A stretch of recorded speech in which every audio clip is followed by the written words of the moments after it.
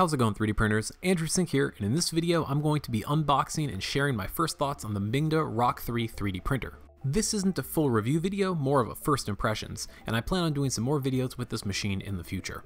The Mingda Rock 3 is a large volume FDM 3D printer, with a build platform that's slightly larger than a CR10 at 320 by 320 by 400 millimeters. It also has a number of hardware upgrades typically found on more expensive machines, like dual Z lead screws, a filament runout sensor, heated build platform, and a direct drive BMG clone extruder. Unboxing and assembling the printer is a really straightforward affair. It took me about an hour and a half and I didn't run into any major obstacles. The printer ships with all the hardware and tools you need for assembly, as well as a few extras like spare nozzles, PTFE couplers, and things like that. At 320 millimeters squared, the build volume of the Rock 3 is definitely on the large side for an FDM printer, and you can see a comparison to a standard Prusa Mark III build platform here. The physical assembly process of the Rock 3 is really easy, just like the D2. There's covers that go over most of the motion components, and the extruder has three bolts that hold it in place. The Rock 3 comes pre-wired from the factory. There's only a few electrical connections, like the Z-axis and some of the end stops, that need to be connected before you can get the printer up and running. The gantry also arrives largely pre-assembled. All you have to really do is attach the frame to the base and use two T-brackets to hold them together. The Rock 3 uses a Bondtech BMG style extruder as well as a cloned E3D hot end with a Mark 8 nozzle. It's kind of a strange configuration, but it works really well for direct drive on this machine. I prefer this extruder setup to the extruder setup on the Mingda D2 because this is a little bit more accessible and it's easier to disassemble if you have a filament jam or clog.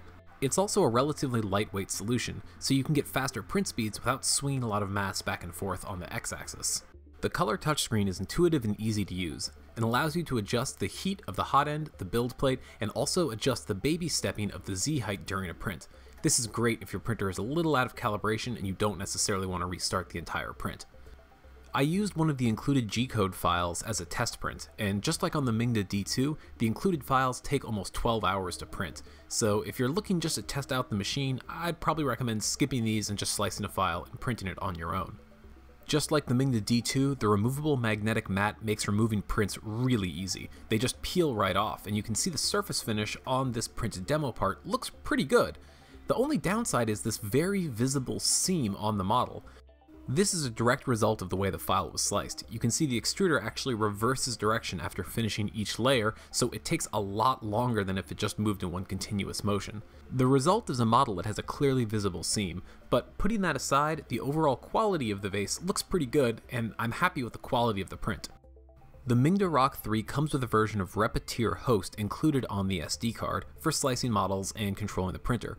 I'm not a big fan of Repetier Host. I thought it looked kind of clunky the first time I used it back in 2012, and I still think that now.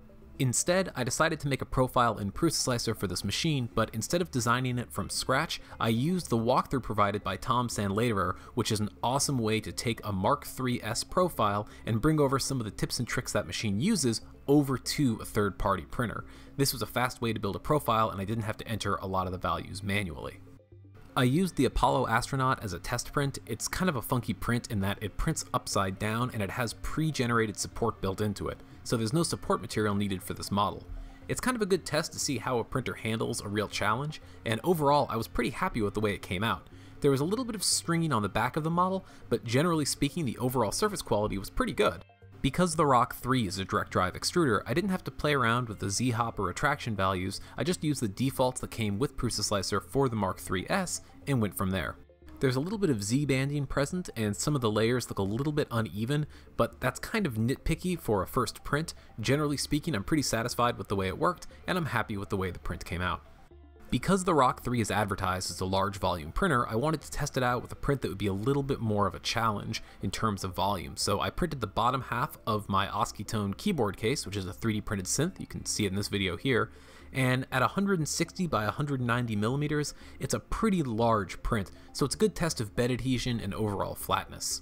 The silk PLA that I used stuck to the magnetic base without any problems, and I used the baby stepping feature to adjust the Z height on the fly just to make sure all four corners were even, and overall I'm really impressed with the way the model sticks to this platform.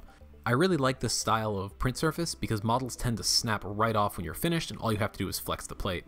So here's the finished product. You can see a little bit of rippling on the back from before I adjusted the Z height, but generally speaking, a large flat part like this tends to be a challenge to print, but on the Rock 3, I was able to get it done on the first print. One of the issues I ran into when printing with the Rock 3 was the placement of the filament runout sensor. The filament runout sensor is actually placed behind the extruder on the y-axis, so as you start to increase in Z height, the filament has to make an almost 90 degree turn to get to the extruder. This picture was taken with the X gantry raised all the way to the 400mm point, and you can see it's actually above the filament runout sensor. This means for long, tall prints, you'll need to either bypass or disable the filament runout sensor or move it to a different place on the printer. It's kind of a strange design choice, but really it's the only major problem I ran into when setting the machine up.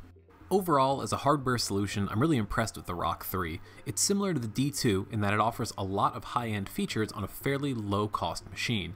If you're printing large parts or need to print many small parts, this machine might be a pretty good fit for you. As always, thanks for watching and have fun printing.